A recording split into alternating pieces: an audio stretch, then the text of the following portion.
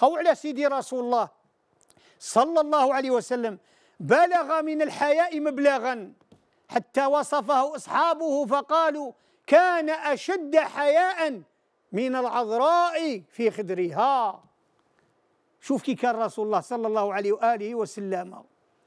كان حييا في تعليمه. كان حييا في أمره ونهيه بصح لا يمنعه حياءه لم يمنعه.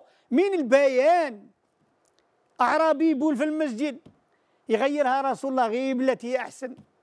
واحد يعطس ويرد عليه ويتكلم حديث أبي بكر ما نهرني وما كهرني بأبي هو وأمي. هذا من حسن تعليمه الذي جمله حياؤه صلى الله عليه وآله وسلم.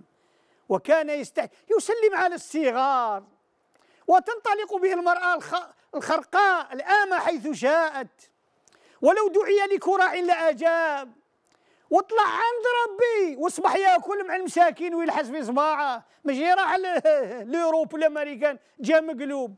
ولا لبس حاجة ولا سيارة جديدة. الشخصيه تبدلت راس على عقب ولا بدلوا له منصب ولا يصافح بزوج اصبع لا هذا رسول الله. صلى الله عليه وسلم. قدوة. صلى الله عليه وسلم.